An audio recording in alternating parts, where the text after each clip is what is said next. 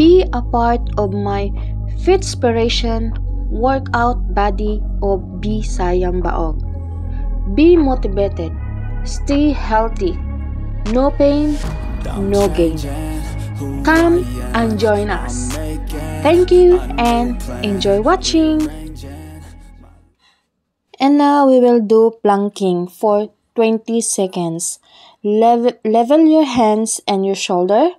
Your body must be straight and your toes must be on higher position. This should be in 20 seconds and our next exercises our second exercises is touching your shoulder between your left and right hands Six, seven, eight, nine.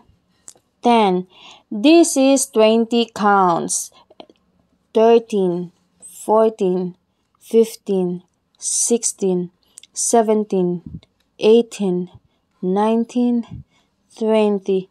Good job everyone! I know you can do it. Alam kong kaya nyo naman pala. At alam kong mahirap pero alam kong hindi nyo susukuan kung kayo ay my goal sa buhay. So our next exercises is we will do a side-by-side -side crunch for our body tune, side tune for our abs.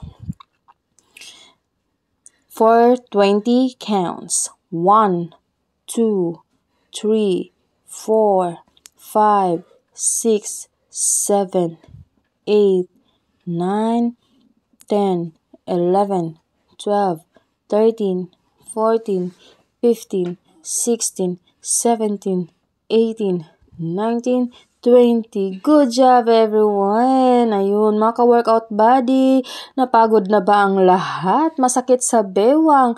Pero kung gusto nyo talagang lumiit ang iyong tiyan, ito'y inyong sundan. So, ang ating pang-apat na exercises is putting your knees inside going through to your elbow. Your left knees going to your right elbows and your right knees going to your left elbows. This is for 20 counts. So let's do it. 1, 2, 3, 4, 5, six, seven, eight, nine, ten, eleven, twelve, thirteen, fourteen, fifteen, sixteen, seventeen, eighteen, nineteen, twenty. That's alright! So, napagod na ba ang lahat? Alam ko nakakapagod talaga to at napakasakit po talaga ito sa ating bewang, sa ating balaka, balakang.